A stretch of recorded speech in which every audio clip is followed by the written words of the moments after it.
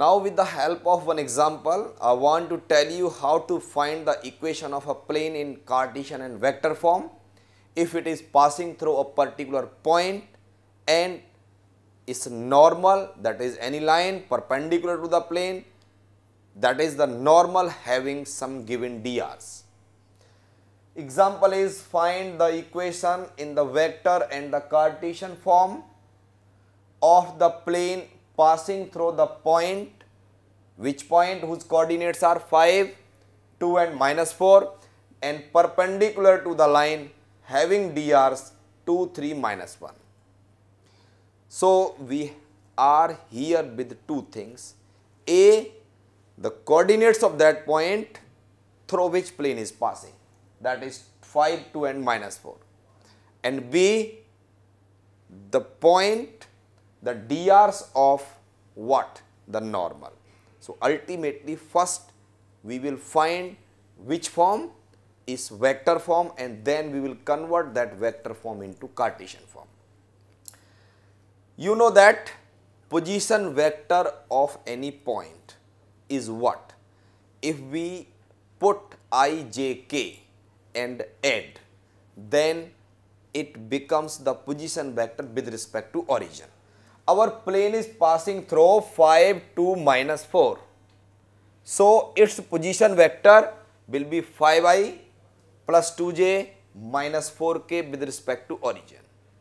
Position vector of the point through which plane is passing is given by suppose vector A is equals to 5i plus 2j minus 4k. Number 1, we have obtained the position vector of the location through which our plane is passing.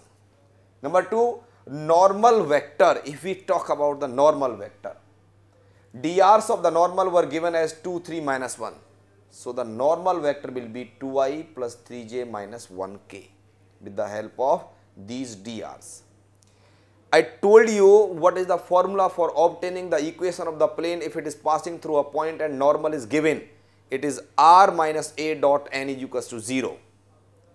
r xi plus yj plus zk, a the position vector of that point through which plane is passing and the normal vector.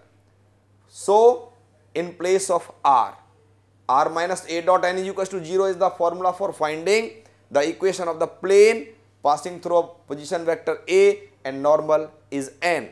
So, in place of r xi plus yj plus zk. In place of A 5i plus 2j minus 4k. In place of n 2i plus 3j minus k is equals to 0. So, here r minus in place of A 5i plus 2j minus 4k dot in place of n 2i plus 3j minus k is equals to 0. You can say this is your vector form or you can go to put the value of r x as xi plus yj plus zk. Then what will be? Then we will get to know if this r is replaced by xi plus yj plus zk then xi minus 5i it will be a clubbed term x minus 5 times of i. Then in place of r if we have replaced xi plus yj plus zk then it will be y plus 2 times of j and z minus 4 times of k dot 2y plus 3j minus k equals to 0. You can say this is also which form? Vector form.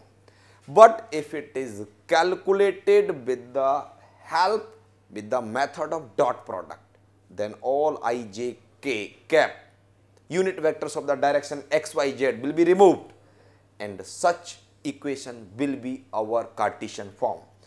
So, x minus 5 will be multiplied to 2. So, this will be twice of x minus 5, y plus 2 into corresponding j 3, z minus 4 corresponding k minus 1 is equals to 0.